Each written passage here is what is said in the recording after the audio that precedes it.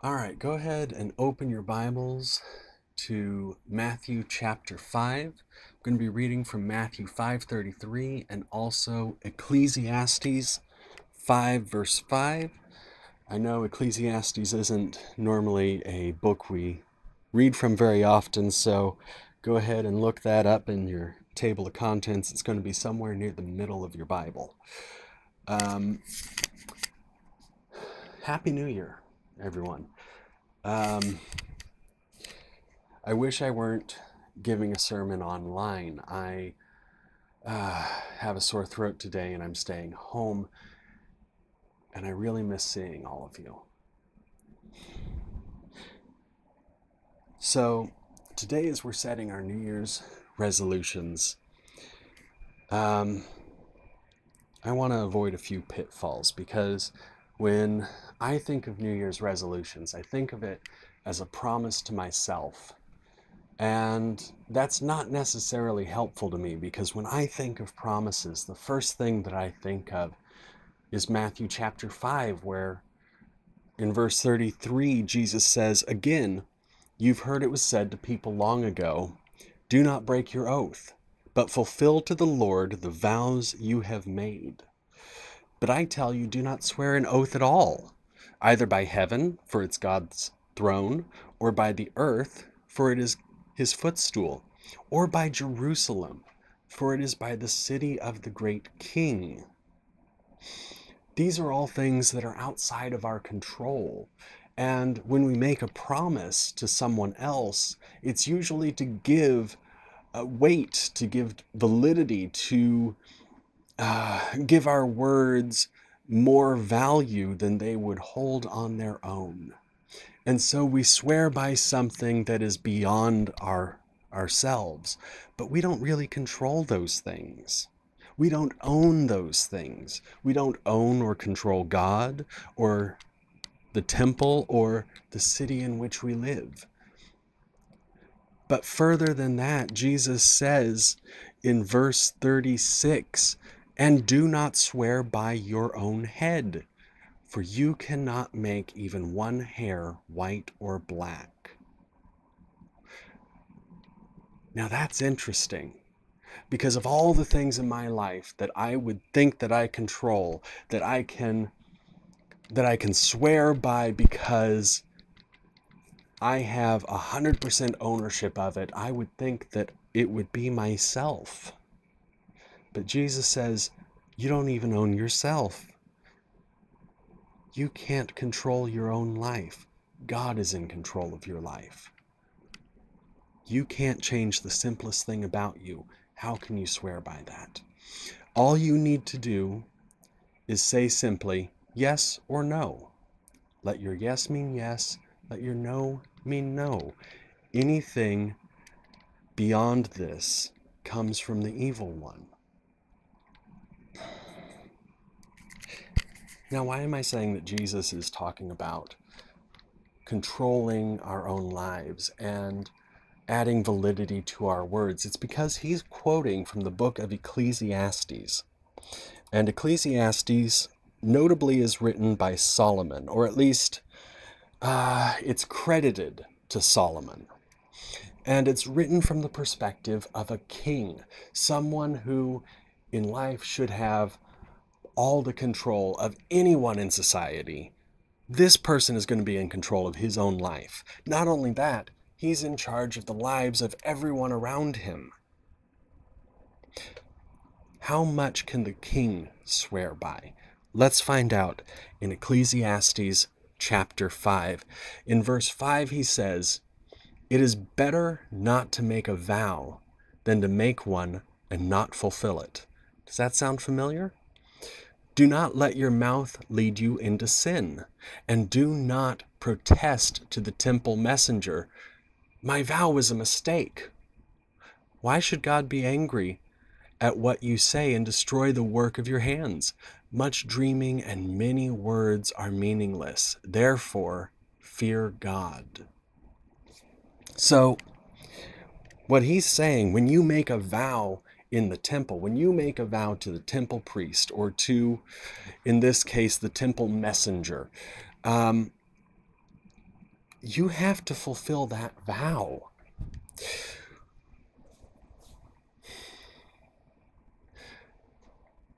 Because if you don't fulfill your words, how if you don't do what you say you will do, how can anyone trust you? If you can say, My vow was a mistake, then where is your integrity? But he goes further why should God be angry at you? Solomon is sitting on his throne and he says, why should God be angry and destroy your work? If you don't see God destroying the work of your hands, it doesn't mean God's not angry that you broke your vow. It means that God is just not taking notice. Why should he? The king doesn't take notice. Why should God be any different? But he could, and that's why Solomon says, therefore, fear God. But Solomon isn't simply saying, don't make your vows, don't make promises you can't keep. He goes further than that to bring us back to the idea of why are we making vows in the first place? What do we hope to gain? What do we hope to gain from a New Year's resolution? And what kind of resolutions have we made? typically it's going to be something like I want to lose weight this year. I want to be a better person, or I want to be more like Jesus, or I want to earn that promotion at work. And all of these things are things that improve our status in society, our self image, our, our wealth. But they're things that are tied not only to things that are beyond our control, but they're tied to things that have to do with our own pride. This is what Solomon addresses in verse 8. In fact, he says, If you see the poor oppressed in a district and justice and rights denied, do not be surprised at such thing, for one official is eyed by a higher one, and over them both are others higher still. The increase from the land is taken by all, the king himself profits from the fields. Whoever loves money never has enough. Whoever loves wealth is never satisfied with their income. This, too, is meaningless. As goods increase, so do those who consume them. And what benefit are they to the owners except to feast their eyes on them. In other words, when we chase status, when we chase wealth, even when we chase our own self image, these things do nothing to improve our lives because every one of them just means that we have more to spend, we have more to lose. And that's where he moves next with this. He says, as excuse me, he says, The sleep of a laborer is sweet, whether they eat little or much. But as for the rich, their abundance permits them no sleep. I have seen a grievous evil under the sun, wealth hoarded to the harm of its owners, or wealth lost through some misfortune, so that when they have children, there is nothing left for them to inherit. He reminds us that when we have little, we sleep well. We don't have worries because we have nothing to lose. We don't have to worry about that wealth or that status or that self image being destroyed because we don't have it to begin with. But those that do have so much to worry about. And what have they gained? They have gained all the world, they have gained everything they wanted, but they have lost their peace of mind, their peace in the spirit. They have lost the joy of life.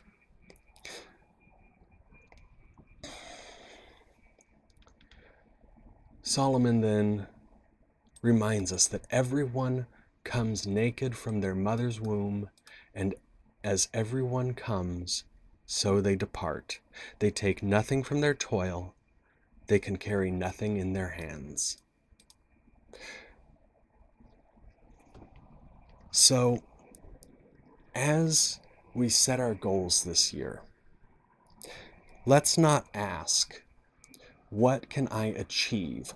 What can I do to increase my own wealth, my own status, my own power, my own control, my own self image?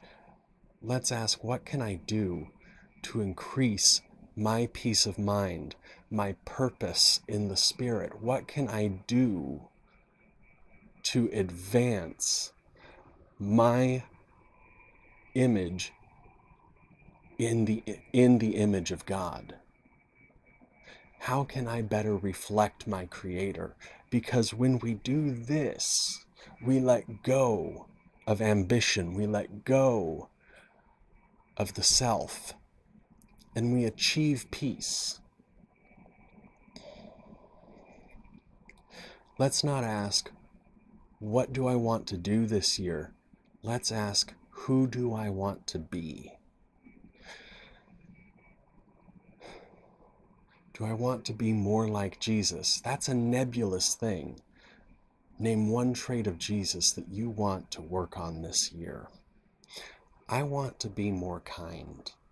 I realize that I am not naturally a kind person. This is my goal as a Christian to be more kind, to be more thoughtful of others. And the way that I'm going to measure this is I'm going to measure how often I'm checking in on others.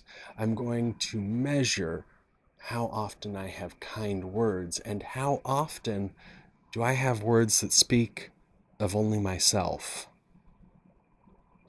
Now, I realize I'm probably in the wrong line of work for measuring this by how often do I speak only of myself. because it's kind of my job to get up here and say, here's the message I have from you for, from Scripture for this week.